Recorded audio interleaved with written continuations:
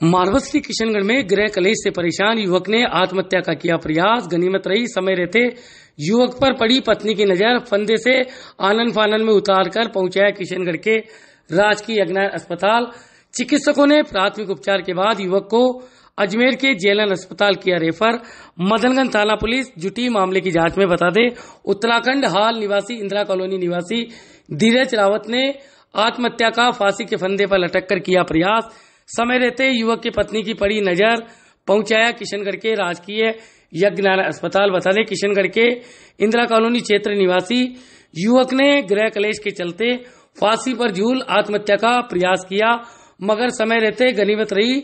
युवक की पत्नी की नज़र पड़ी।